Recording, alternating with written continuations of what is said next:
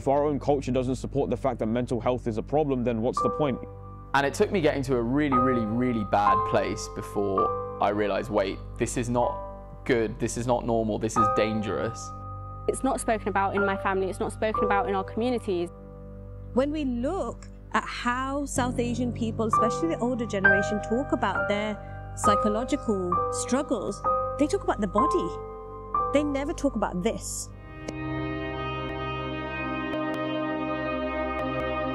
Ladies and gentlemen, I go by the name of Hyphen.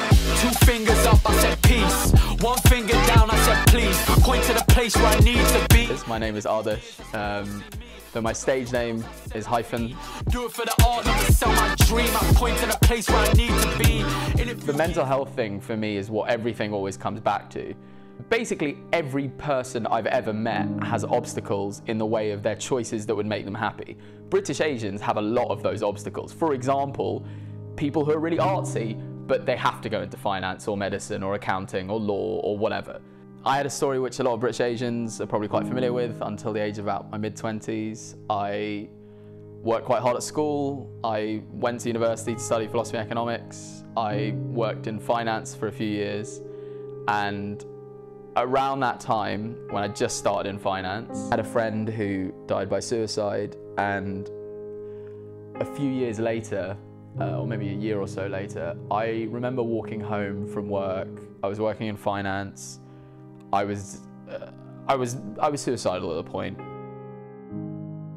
Uh, I remember sort of thinking, there's no point going on. I'm so desperately sad. Nothing can ever fix this. What's the point anymore? And it was at that point when I was like, this is the point I'm at.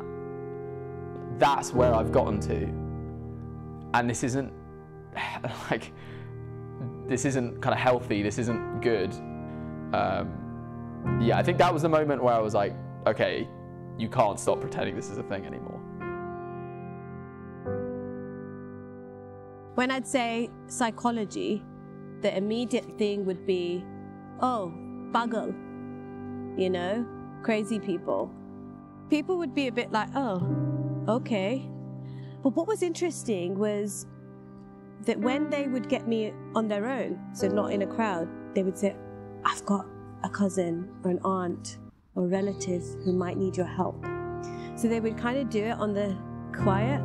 They wouldn't want to say it in front of people that this is what's happening. People are frightened of mental illness because they don't know what causes it. The people to seek help because they feel that if they seek help, it will become known in the community and others will reject them, not talk to them, nobody would marry into their family.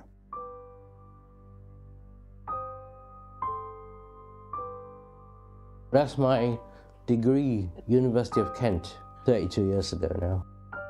When I'm going out, when I was in Canterbury, I was going out and everything, people looking at me everywhere, you know, on the streets, uh, you know, talking about me. I think they were, yeah. yeah I was diagnosed uh, uh, schizo- paranoid schizophrenia, they said, yeah. And more recently, OCD as well. walking on the streets and, and all the all the other students as well um, in the university they were looking at me as well and you know um, yeah it was very um, scary experience you see. I can't hold find a hold a suitable job.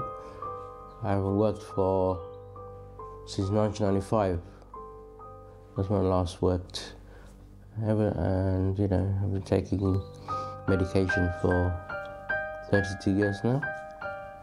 Yeah, and it's not very well talked about in the Asian community, is it? In in the UK, is it? Um, schizophrenia, and depression, OCD, anxiety, and you know. Let's see if what Douglas has when he comes out for this round. This was about this was about the time that my illness started, yeah. And I think, um, you know, when Mike Tyson lost, it may may have been due to me. it may have been due to me. Because I remember I told you, I think the people, everywhere around the world, people are talking about me. So Mike Tyson may have heard something about me, and then that may make him lose. Because nobody in Malayan community has come up, come up to you and said, you, you have a pro- I re- realized that you have a problem, you need help. Nobody's done that. You know?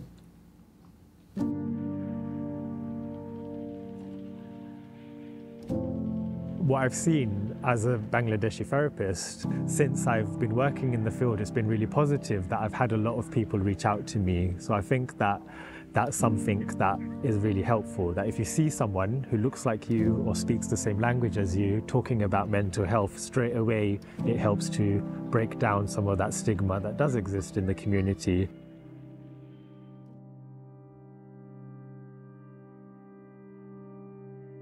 I grew up in East London and my parents were quite traditional, both of them are Muslim. I think it was in year nine.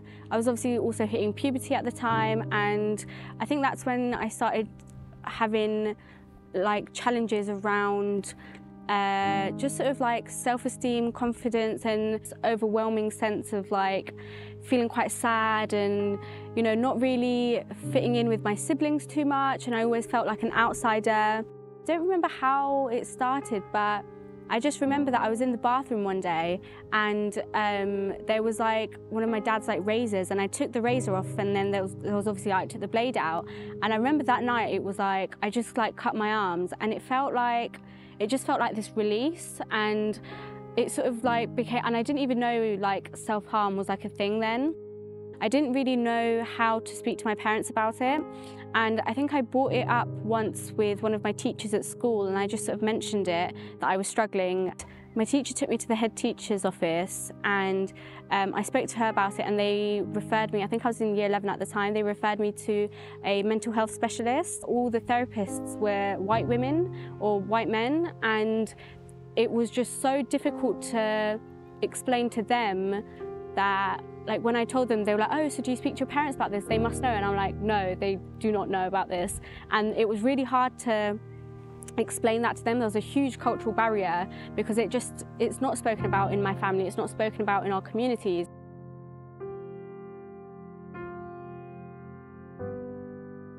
I did my master's at Cambridge and um, I remember it was my second week there and um, the college's BM, BAME officer, he, um, we were having a party and he came up to me and he was like, I was wearing an England shirt because I was watching the cricket. And um, the, he came up to me and he was like, oh, why is um, a Paki wearing an England shirt? And it was just like this, it was just a whole new element of like, wow, it's like, you know, again, isolation and like, you know, being disconnected from the culture that you're so obviously part of, you've grown up here and then you get rejected by like, you know, people like people who believe it to be like only theirs and things like that. And I think my master's at Cambridge, that was a really, really difficult period and I really struggled with my identity and um, my depression and that so many different things can trigger it. Like I had no idea that having or like being racially abused at university would, would be something that would trigger my depression and anxiety but of course it would be because it's an it's disgusting and it's also like a horrible thing for someone to have to go through. I think when it when I got to my final final year of university um, that's when I sort of decided for myself um, and it took a lot. It, it was, took a lot of strength and courage. But I was like, right, I need to make a change in my life. Like I can't. I've as a young girl, like I've suffered with this so much that I need to. Something needs to change and something needs to give. And I think that's when I actually started looking at. Um, there's like sort of like initiatives for um, therapists who are like therapists of colour who and, and people who would understand these problems a lot more. Um, so I, I did my research into that and found um, a South Asian woman um, and started speaking to her um, so she was my therapist and I started speaking to her and she actually, it was just like finally someone sort of like understands it.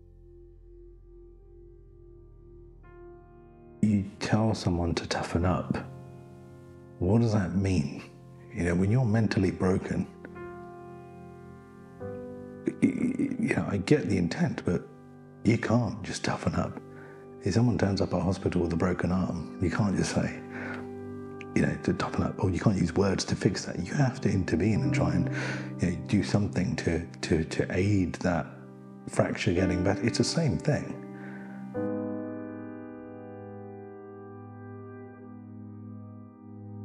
You, you think this is really easy. You, you don't think this is a big deal. Well, when I'm not here anymore, you'll understand. I used to stare at my son's photo and uh,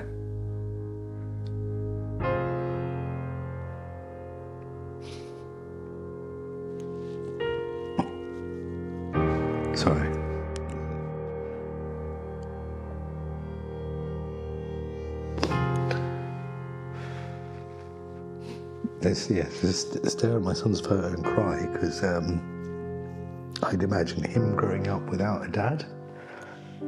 And um, even that wasn't enough to really deter me. I, it would, for me, it was just like a foregone conclusion. I'd just be like, "Ah, I've decided I, I can't deal with this anymore. It's not even that I don't want to. It's like, you know, I don't have the power to deal with this anymore. And I try and lean on my son as my kind of defense mechanism. I remember the first time I opened up about this, it's like, oh, if I say this, I'm suddenly less of a man. And because we're so embedded with this concept of masculinity, the idea that we let that concept go is just quite devastating.